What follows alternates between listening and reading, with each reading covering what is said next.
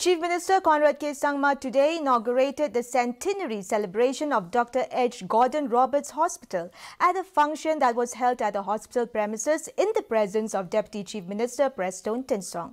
In his address, Chief Minister Conrad K. Sangma congratulated the hospital on achieving the milestone. He said that the occasion is also a time to acknowledge and thank the services of Dr. H. Gordon Roberts, who arrived in Shillong in 1913 and started with a small dispensary in Mission Compound, Shillong.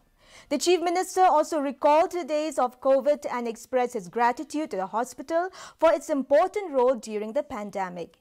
He further urged the hospital to continue its mission in the principles of Dr. H. Gordon Roberts, serving the people with love, compassion, commitment, and passion. With different central agencies, we will support this project. We will move this project in Delhi. We hope that we will be able to get necessary funds, even if it means in a phase-wise manner. So from that fund, at least a small token of contribution I would like to hand over to our superintendent today.